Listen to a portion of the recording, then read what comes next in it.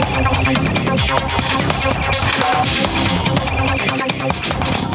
Con el eslogan Tu mascota, tu derecho, tu responsabilidad, cientos de habitantes con sus mascotas llegaron al Festival Canino que se realizó en la localidad de Bosa.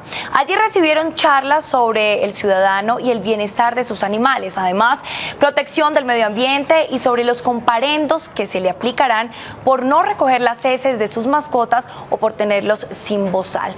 Jonathan Orobajo, reportero digital de Canal Capital, estuvo en esta jornada. Jonathan.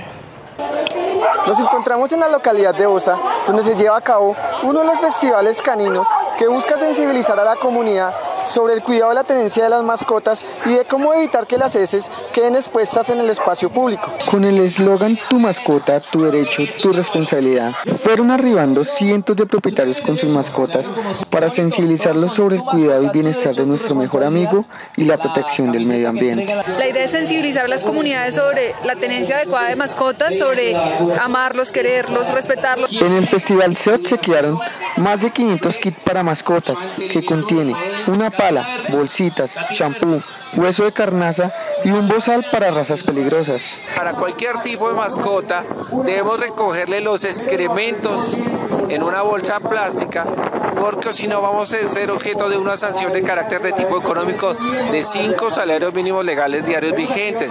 Yo como amo a mi mascota también amo a mi mundo. Quisiera que cogiéramos conciencia cada ciudadano.